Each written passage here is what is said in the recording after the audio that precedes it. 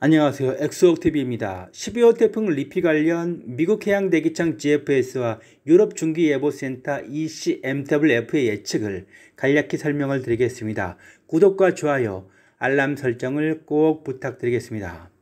민드의 미국 해양대기청 GFS를 살펴보면 9월 14일 토요일 저녁 8시에 12호 태풍 리피가 945헥토파스칼의 강력한 세력으로 일본 오키나와에 도착해 있는 모습을 보여주고 있습니다.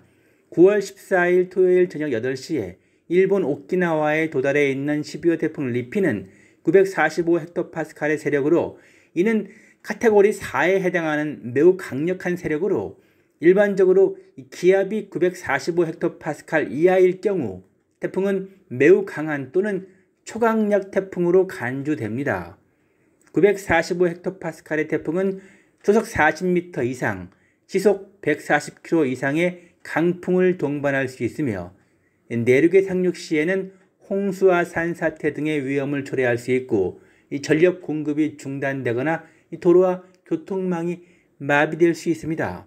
만약 12호 태풍 리피가 오키나와에 도달한 후 한반도로 북상하면서 해수면 온도가 충분히 따뜻하고 wind shear가 낮으며 공기의 습도가 높고 이동 속도가 느리고 기압 차이가 큰 조건이 맞물릴 경우 태풍이 카테고리 5의 슈퍼 태풍으로 발전할 가능성이 있습니다. 12호 태풍 리피가 한국으로 북상할 가능성을 예측해보면 이 세 가지 주요 환경 요인이 있습니다. 첫 번째로 북태평양 고기압이 동쪽으로 물러나거나 약해질 경우 태풍 리피는 북쪽으로 이동할 공간이 생기며 한국으로 북상할 가능성이 커집니다.